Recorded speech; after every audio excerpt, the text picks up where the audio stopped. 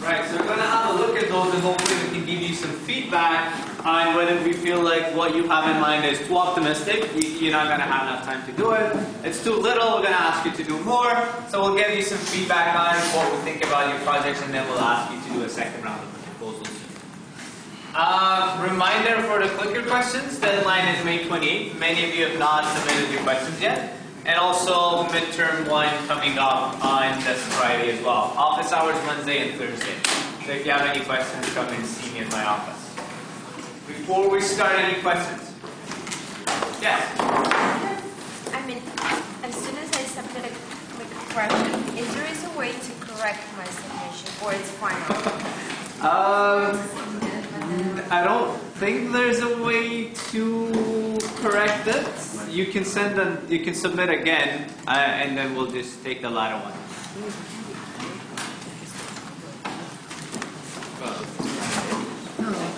All right, now let's start chapter four, and let's talk about formal relational language.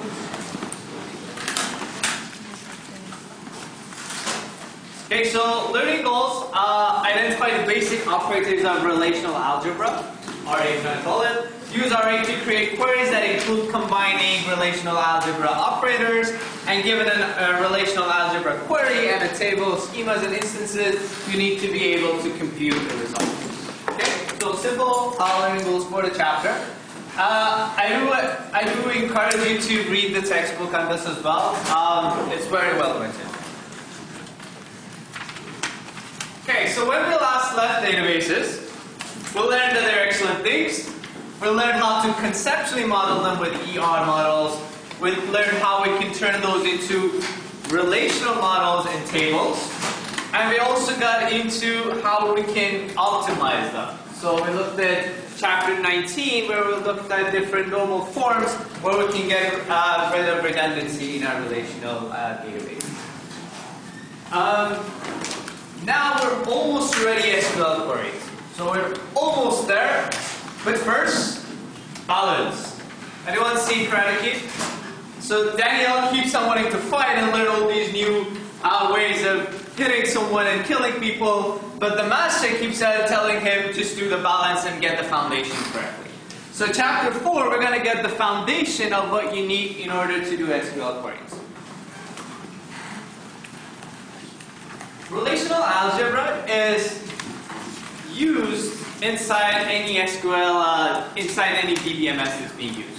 So a re- relational algebra is used in order to optimize the queries that you're later going to write in SQL. Okay? The backbone is mostly mathematics, and uh, SQ- and relational uh, algebra was also invented by a mathematician. Okay? So you're going to see why the mathematics is going to come in. It's mostly uh, procedural, but it's partially procedural.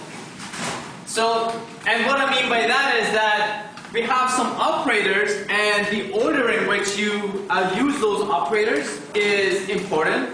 But other than that, it's not like other languages like Java or C, where you're going to be writing a bunch of uh, um, statements. Okay, so that's why we say it's partially procedural. It allows you to modify. Thank you. Thank you. Minute.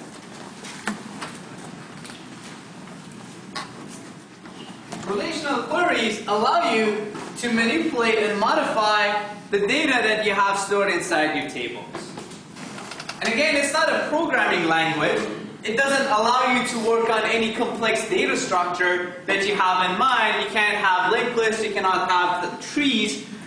It only works on tables. And what you do is allows you to create, delete, and modify values in those tables, and it allows you to query the values that you have inside those tables. Users don't need to know how you navigate through a data, eh, the tables in order to get that information. All we're going to be doing in 304 is we're going to learn how we can ask for those information. 404 we get more into how those information are retrieved and given back to you. Okay, so this is just a summary uh, slide of the operators that we're going to be talking about in details. Okay, so relational algebra was introduced by Ted Codd in 1970. And again, he's a mathematician, so he's looking at tables and, rel- and relations from a mathematical point of view rather than uh, SQL and uh, tables and the, uh, the applications. Okay, so don't worry about these. We're going to talk about each of these in detail throughout the, the lecture today. Let's have a running example for today. This is the running example we're going to be using. So this, uh, we have three different relations here. We have movies, and for each movie, we keep the movie ID, title of the movie, and the year when it was uh, first uh, created. We have movie stars, so these are our star IDs. Each actor or actress has a star ID, a name, and a gender. And stars in is a table that relates our movie stars with our movies. So stars in says that this movie ID, which is coming from this movie ID, had this star playing in it, and this is the character that we're playing. Alright? Any questions so far? Yeah, these, this is examples of what these relations could look like. So we could have a bunch of movies, their IDs, their title, and their year. We have movie stars, and also stars in will have a movie ID, a star ID, and a character. Okay, so movie ID for Indiana Jones, star ID 1, Harrison Ford played in that, and the character is Indiana Jones, as an example. Let's look at the different operators that we can use through relational algebra. Mike. Didn't the previous slide have an integrity constraint violation? Um, it had an ID 3 and there were only two actors with one, I, one, two. Uh, So yeah, and stars in Dorothy Gale, star ID 3. so we have star ID 1, 2, and 3, which is showing on my uh, version of the slide, but not on yours. Okay. Sorry, I don't know why the bottom of the slides are, are cut off um, on the projector. But that's how the slide meant to be.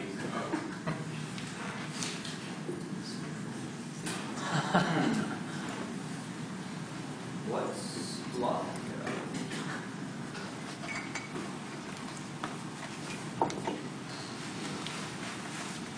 Any other questions? So you can assume there's a third movie star out there for now.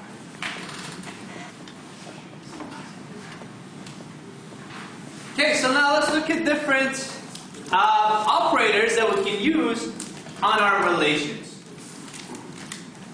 And uh, since this was designed by a mathematician, we're going to see a lot of Greek letters defining our operators here. So sigma is going to be our selection. And when we have a relation, we want to have a way in order to select some of the tuples based on some uh, criteria. Okay, so as an example, let's say if this is the list of all our movies, I can say select from this table, from my table movies, the tuples where the year is bigger than 1940. Okay, so if, if on the top is my actual movie table, then when I run this query, selecting only those movies, so inside the brackets there I can see the table that I'm operating on, that's the table I'm operating on. And through that table, I only want to select those that in um, column year, the value there is bigger than 1940. And what I'm going to get back is only two movies uh, where the year is bigger than 1940.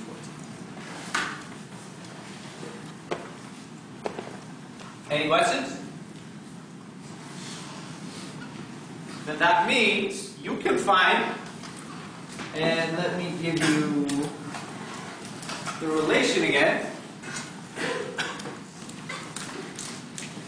All male stars.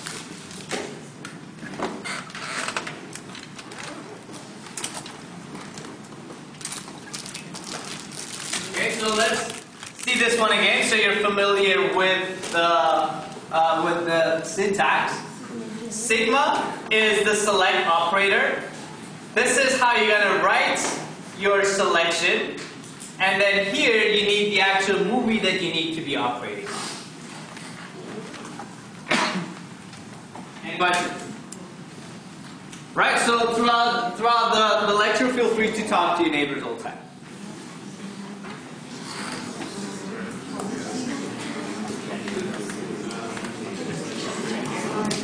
Yeah,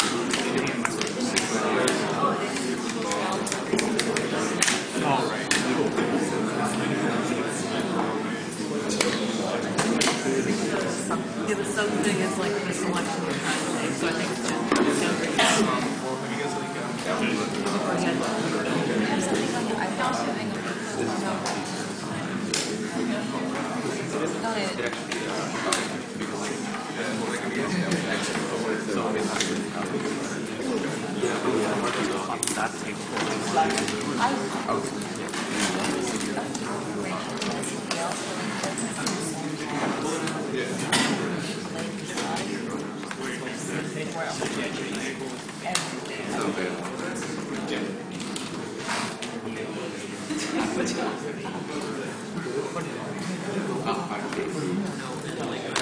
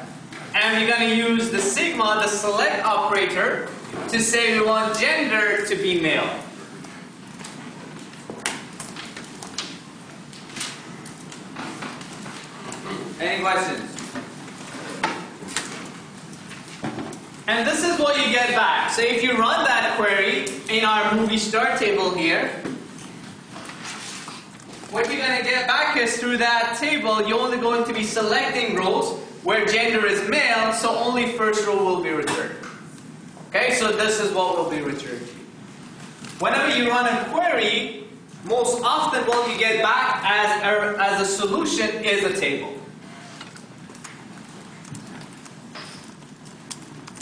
Right, let's move on. Projection. Projection is going to be shown with a pi. Okay, so pi we're going to use in order to show projection. And projection is going to allow us to get only selected um, columns from a relation. Right? So if you if you look at this side again, if my relation has uh, three different columns, it might be the case that I only want to have one of them be returned, or two of them be returned. So what I can do is I can select the the uh, the uh, the columns that I want to be returned. One thing to note about um, relational algebra is that it's working on set theory. How many of you are familiar with set theory? What, what course do we cover set theory? It has been covered? 121? 121. Okay, so in set theory, we say that you can you don't have duplicate items in a set. Right? So if you have two items in a set that they're the same, then you only keep one of them. relational algebra is going to be the same. It's only going to be working on different items. If you have two items which are similar, you can remove one of them from your set. This is not going to be how SQL works. So this is one of the main differences between relational algebra and SQL that we're going to see later. SQL is implemented on bags, which does allow you to have duplicates. Set theory and relational algebra does not allow you to have duplicates. Let's see some examples. So this is my movie. Um, this is my movie relation. If I use the pi operator with title and year, that means that I only want title and year to be returned as part of the, the result. Okay, so if I run this query, what I will get is I will get titles and year of everything. If I just want to, um, if I just want to project on year, then only years will be uh, returned. Now, as you can see, the first two examples, four rows are being returned, whereas in the third one, I only have three rows being returned. If you consider each row to be an item, if two rows are absolutely identical to each other, that means there's a duplicate. So that means in the second example, when I have title and year, although I have a year 1939 in both of those, that is not a duplicate because the entire row is not similar to each other. Because the title is different, those two are not similar. But when I'm projecting just on a year, that would mean I'll just have the value 1939 twice, and since I have it twice, one of them will be removed, so this will be returned as the answer if using relational algebra. And at the end here, you can also combine different operators that we have. So the operator is saying that from the movie table, first select those rows that have year um, after 1940. So first two rows are going to be selected, which are bigger than 1940. After that, that table is taken, and the second operator, which is the pi operator, is going to be used on that table, and it's only going to return the title and the year uh, columns. In this example, the question is can we do this in a different uh, order? Can we first get the projection and then the selection?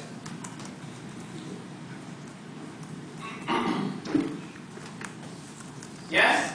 In this example, we can. In this example, we can say, well, hold on, let's just first take these two columns first, and then let's operate on those in order to do a selection. That is not always the case. We'll have examples later where you can't do that. But in places where this is possible, it's part of the job of the optimizer to have a look at the two different scenarios and try to decide whether it's a better option to first do the selection operator or if it's a better option to do the projection operator. One way that you can think about this conceptually is that it really depends on whether you have a lot of rows in your table or whether you have a lot of columns. Which one is it that if you get rid of, you will be saving most of the uh, most time in order before going through all those values. Okay, so again, the the order in which these operators are are done, that's going to be part of the job of the optimizer when we get back to SQL and DBMSs. Any questions?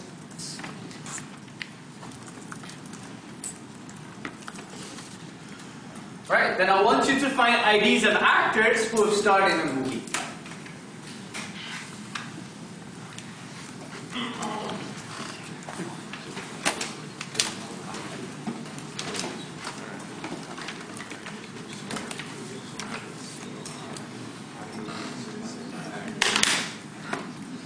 Right, and again I'm going to run the clicker so you guys can click whenever you're done.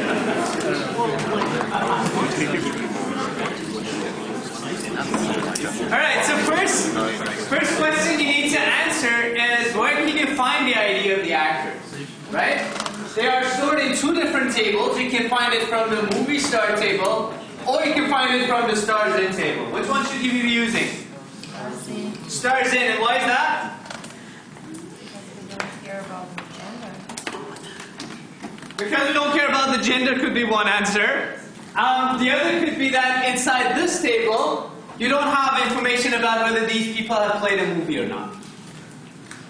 Okay, so if I want to look at the information in the movie star table, I know that this person is an actor, but I don't know whether they've actually been in any movies or not. However, if I use the stars in table, I can see actually whether that person was inside a movie or not. If. Uh, can't we just kind of assume that they've been in a movie since they're a movie star? Maybe that's one thing that for you to be a movie star, you really need to be in a movie. Uh, but since you don't see it as an integrity constraint, you wouldn't know. Okay, so nice and short. We're gonna look at the stars in table, and you're gonna project on star ID.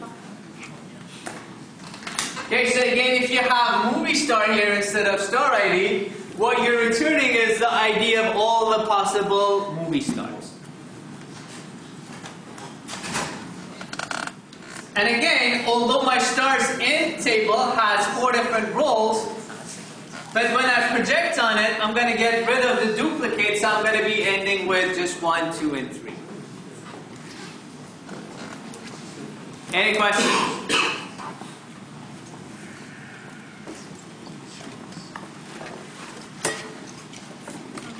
Right, let's do a clicker question. Put on your own first, please.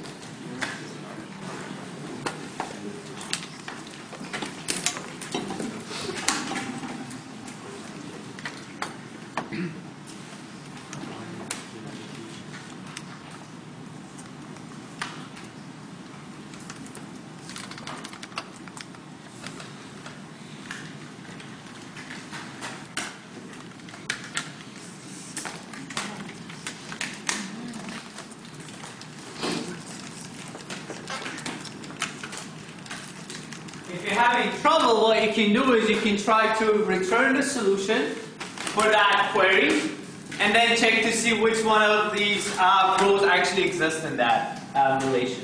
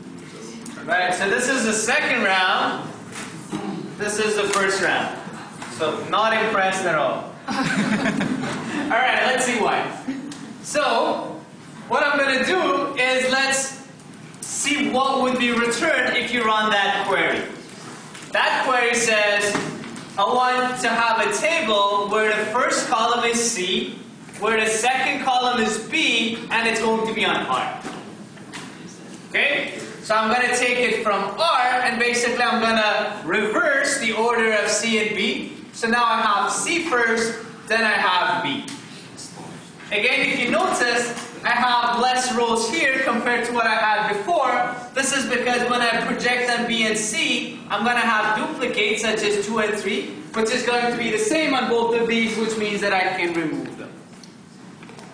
Right now, I'm going to check. Is 2, 3 inside my relation?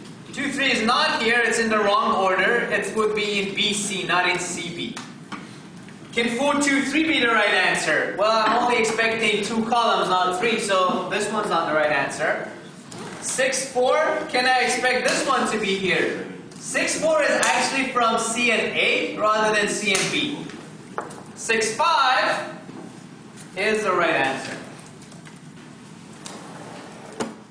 Any questions?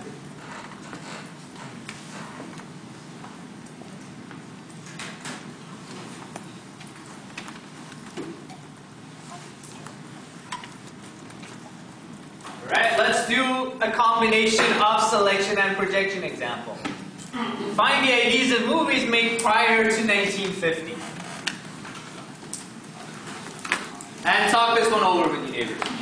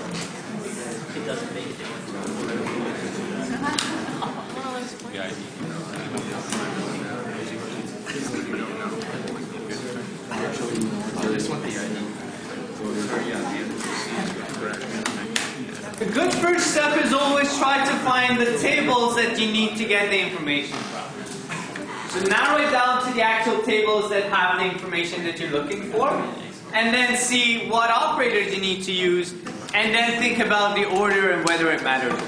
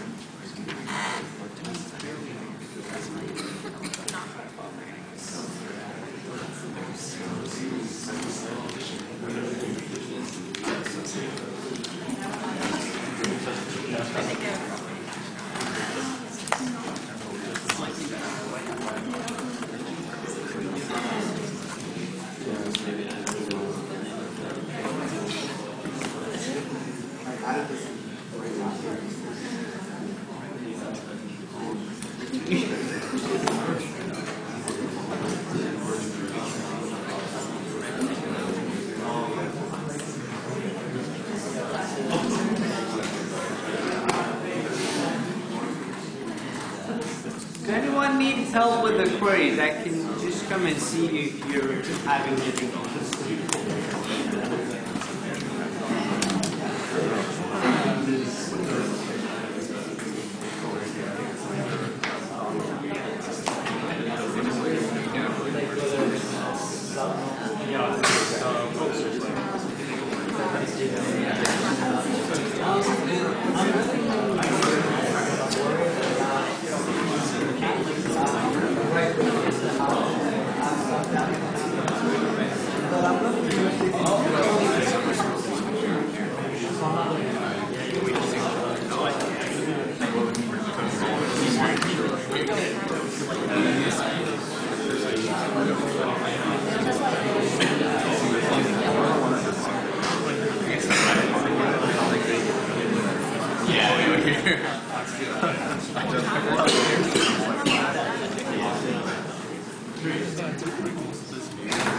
All right. So we want to find IDs of movies made prior to a specific year, right? So what I'm going to do is I'm going to look at the movie table, hence the hint, movie table being here. And in that movie table, I'm going to look at only movies, I'm going to select movies where the year is bigger than 1950. Once I have those movies, I'm going to get their IDs. So what's going to happen with this first one is I'm going to get this row and this row, the first one and the last one, and then what I'm going to do is I'm going to project on the movie ID, and I'm only going to get the ID. Read. Uh, that, that is supposed to be less than 1950, right? Yeah, it should be less than. Made prior to 1950. Thank you.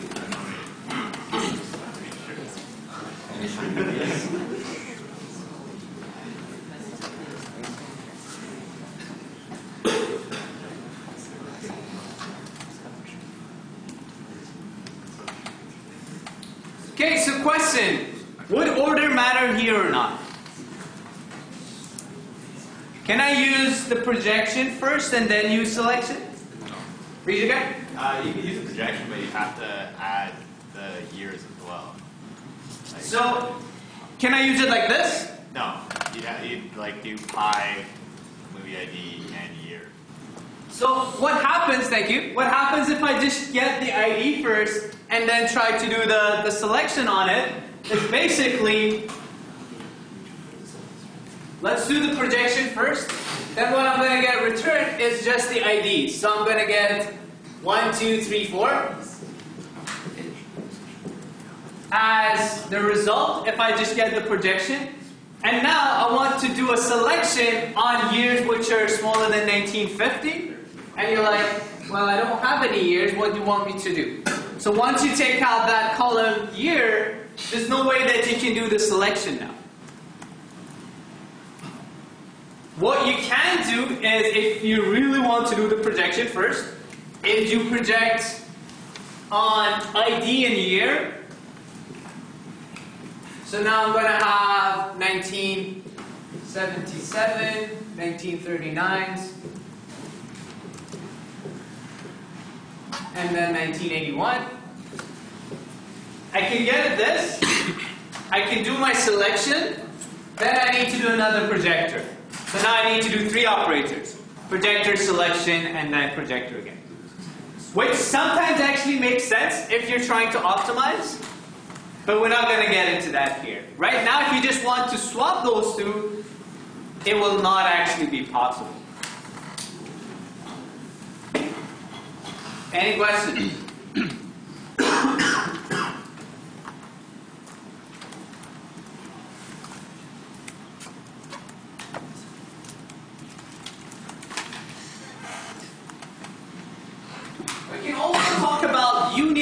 Intersection and difference. Okay, so that's also an operator. You can have a union operator which now takes two relations and takes a union of those two.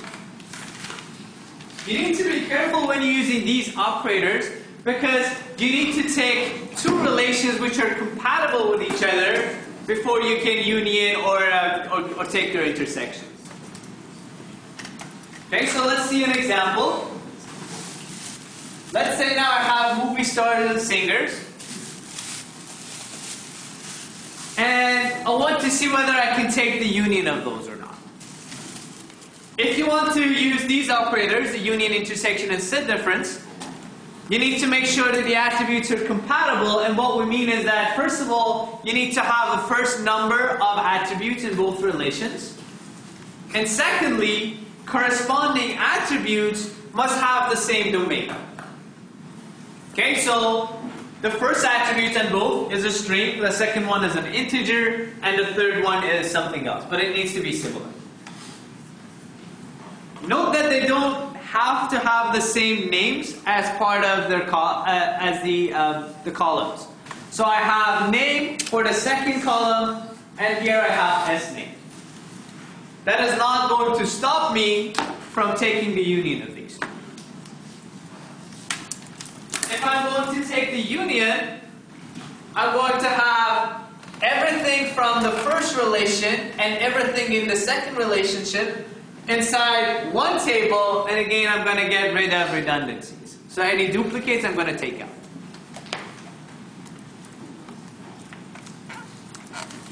Okay, so you can see that um, I have one duplicate, and I'm going to be removing that when I take the union of these two. If I'm doing the intersection, I'm only going to be adding um, tuples where that tuple is inside both of these relations into my uh, intersection. Okay, so intersection is going to look through these two, and I'm only going to be adding tuples where, uh, where it's in both of these relations. And the difference is going to look at the first relation, and anything in the second relation is going to be taken away from that relation. So movie star minus singer is going to give me all the movie stars that are not singers. Just note that movie star minus singer gives you a different relation to singer minus movie star. For the other two, it's the same. So you can uh, you can you can change the order. For uh, singer union movie star, that's fine. You can change the order for uh, intersection as well. But for difference, you're gonna get a different uh, answer if you change the order. Any questions?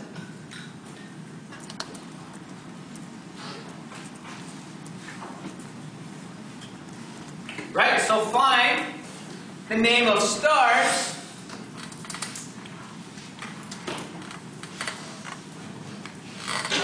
that are singers without movie stars. Apologies for the typo.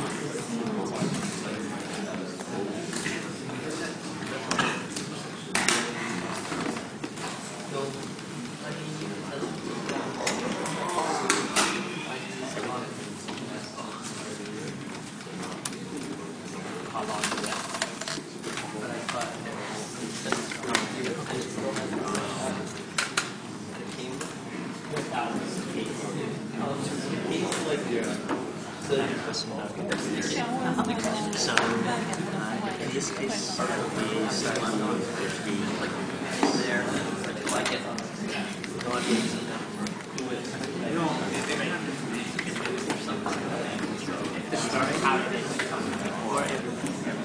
then you would get it. The only reason why it's not if the name and the gender was the same, but if it's you would still get not that But they just added or different names, then you would still get it. So if the story is movie with the name is different, as long as there's some difference, you would get it. Yeah.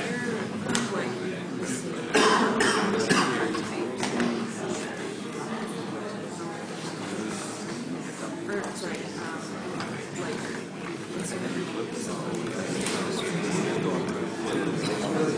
Oh. It would- Couldn't you just do singer So it, it doesn't have any if it doesn't know whether it's making sense. As long as it's compatible, There's no way to like. I think it would be to show that this is singer response to you can. But you, right, you, as long as it's compatible, it can't make you then it should the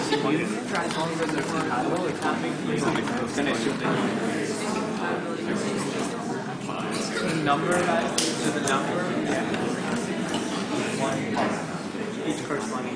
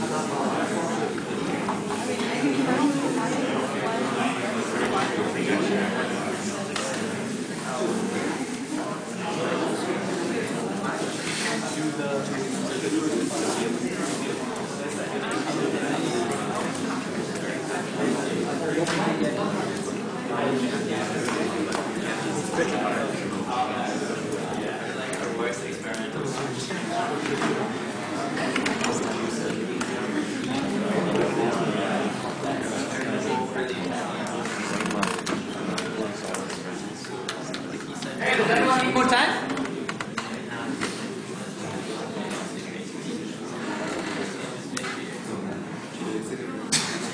Okay, so what I'm gonna do is first we're gonna do the set difference between. Quiet, please. Thank you. So what we need to do is first find a relation where we can have singers but not uh, movie stars. So we do singers minus movie stars. That's going to give me a table, right? Remember, whenever you do an operation, you're getting back a table as a result. That table, then I want to find name in it.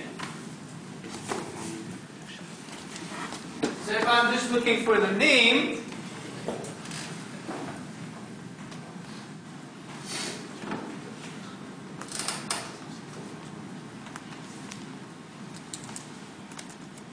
If I'm projecting on the name, then I'm just going to get the name now.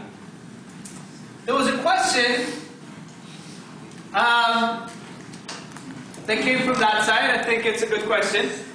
So the question is, if these can have different, if the attributes can have different names, what's going to happen when you take the union? What's going to be the name? The way that the textbook describes this is that when you have R and S, and you take the union and the intersection of R and S, the schema of the result is similar to R, which is the first one.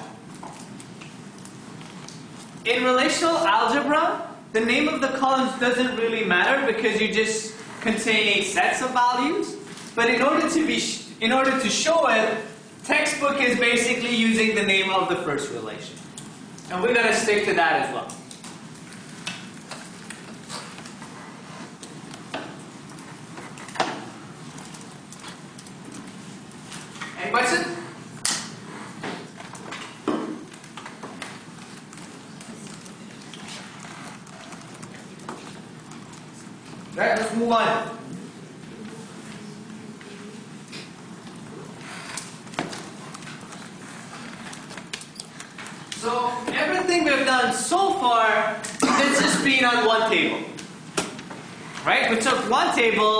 whether it's some projection, whether it's some selection on just one table. But querying just one table is boring. Let's see how we can combine information from multiple tables with using relational algebra operators. The Cartesian product is going to be taking one relationship and you multiply it with another relationship. For now, let's assume that the attributes are disjoint. So for now, let's assume that all of the attributes that you have in one table is different from another one.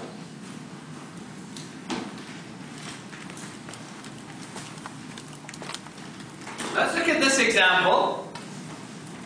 So what's going to happen here is, these are the three rows that you have here.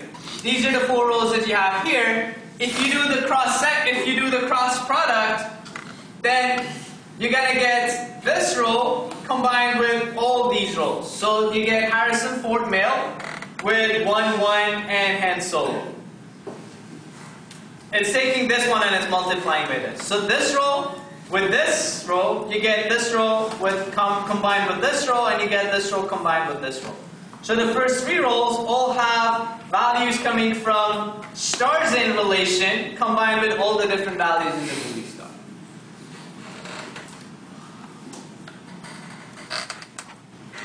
Okay, so just a warning that this isn't really useful for now. Okay, so basically this means if you have a bunch of students and we have a bunch of courses, the cross product says that every student has taken every course. Right? It's not really showing who has actually taken those courses, but it's saying that every student is combined with all the different courses that we have.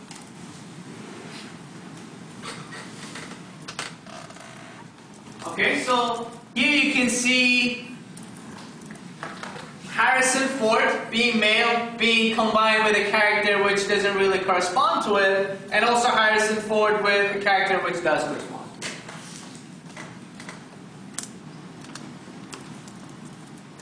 If everything is disjoint, everything is fine. You're not going to get any duplicate over your attributes. If you have names which are similar in both of these, when you do the cross product, you're going to have that same value being there multiple times. And you cannot have a relation where an attribute name is same between different attributes. Okay, so this here is problematic. If you have relations where they share some name in their attributes, what's done is that the name is ignored and it's going to be given a number which corresponds uh, to the in order. So the first one's going to be 1, 2, 3, 4, 5, and 6. So this one, since it's a duplicate, it's going to be renamed by 1. And this one will be renamed to 5. Automatically.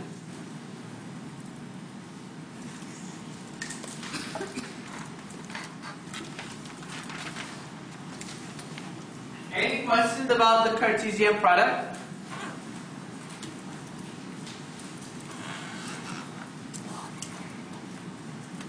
So if I have, if I if my movie star relation has three values and my stars in has four values, how many values am I going to have in my Cartesian product?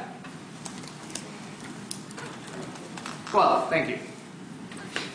Could could any of those actually be redundant? Duplicates? If there was a duplicate, then that means that at that role in one of the relations should have already been a duplicate. Since that's not happening, you're actually going to get 12 different distinct values.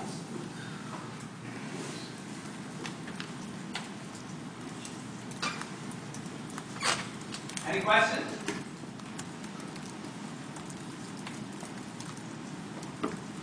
Well, the fact that this is being renamed automatically is kind of problematic. So we have a renaming uh, operator which allows you to take an attribute and rename it. Okay, so because we can't really say we're only going to have relations where all the names are different, right? Because you can't do that. You're going to have the renaming operator and what the renaming operator does, it says, this is a relation that I'm working on, and I want 1 to be renamed to star ID 1. And I want attribute 5 to be renamed star ID 2. You can also just take the name of that, the, current name of that uh, attribute and rename it as well. Okay, so you can either wait till afterwards when you have the value 1 and 5 and then rename it, or before getting there, you can say star ID is going to be ID and then do the cross product of the two relations. Either of those would work.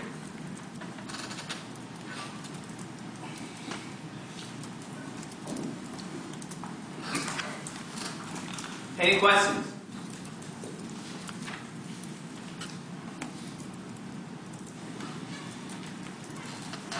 Okay, now let's look at some more operators.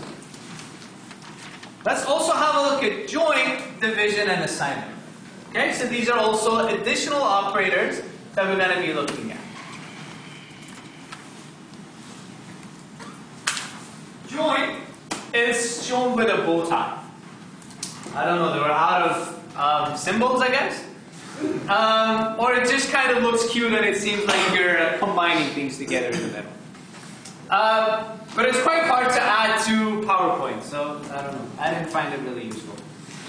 Um, what the condition means is that you want to do the cross product, but on that cross product, now you want to have some conditions.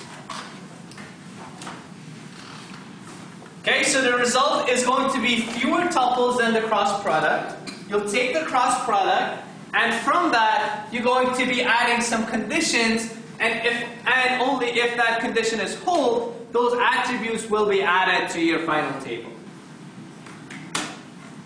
This kind of join is also called the theta join. Okay, so if you if you hear that name, that also means this join.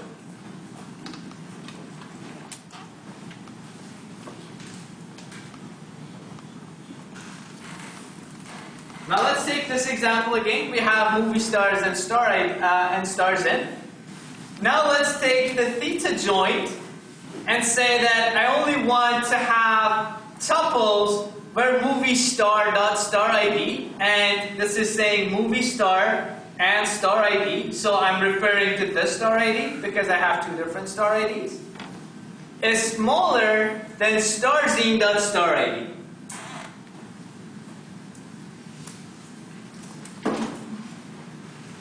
Okay, so what could happen is that the big cross product could be built.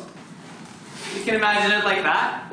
And then I'm going to look at this condition, and I'm only going to keep tuples where the movie star dot star ID is smaller than stars in dot star ID. This one. Again, this doesn't particularly mean anything, and it's kind of a silly um, query to run. However, it does show the concept that you can have a condition which is being applied on your cross product.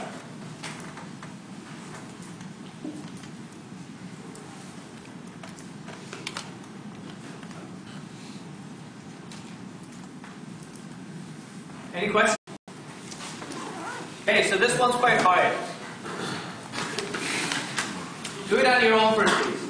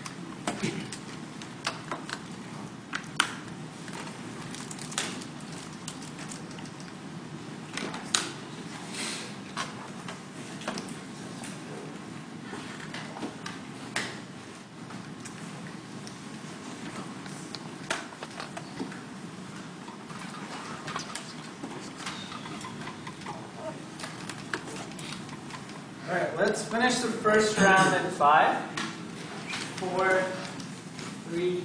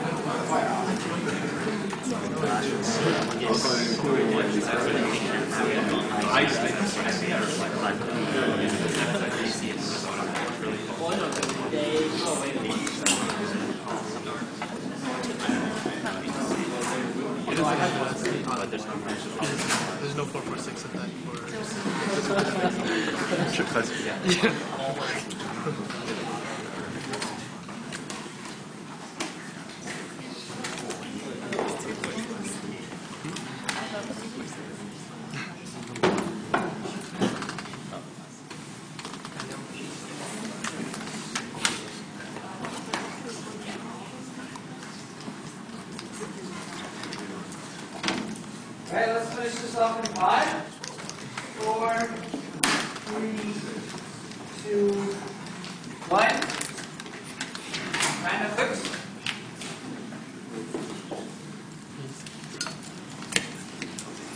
Okay, so let's examine each of these and see whether it could be part of that, uh, that result or not. So as you can see, the relation that we're asking for first has the two columns coming from relation R, and then it has the three columns that are coming from relation B. Right?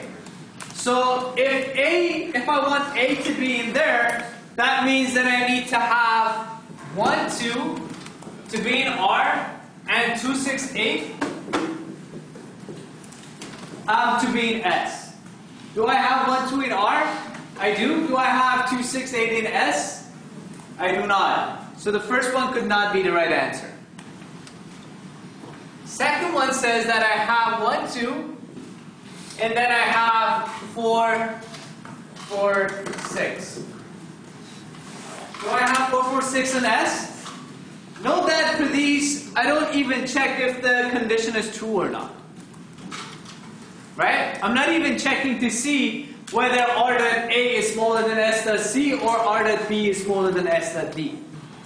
Because for that to be true, I need that row to be first in the cross product of the two. And for the first two answers that I have there, that's not part of the cross product. Let's look at C. So C has 5 and 6 in R and 2, 4, 6 in S. Do I have 5 and 6 in R? I do. Do I have 2, 4, 6 in S? I do. Okay, so this could potentially be true. Now I look at the conditions. The condition says R dot A is smaller than S dot C.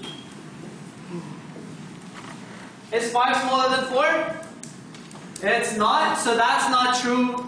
D's not true, so E is the right answer.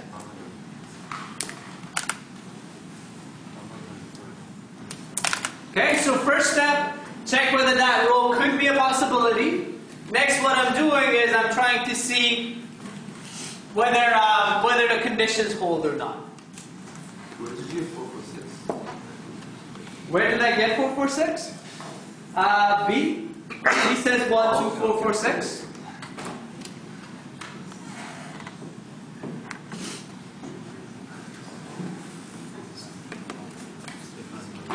What if I want to actually get this relation?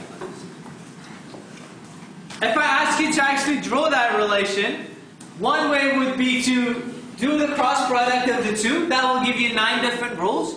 And then go through each of those nine rules and see whether that condition holds or not. If the condition holds, you keep it in that table. If it doesn't, you remove it. And then you have a relation where that condition holds and is part of the cross product. Any questions? Mike? Algorithmically, that's what a database does anyway, right? You pass those uh, parameters to it, and it's almost always a brute force uh, sort, or is it a bit different? So the question is, could it be optimized? Yeah. And it could be optimized. So it doesn't really need to get that cross product first and then go over that.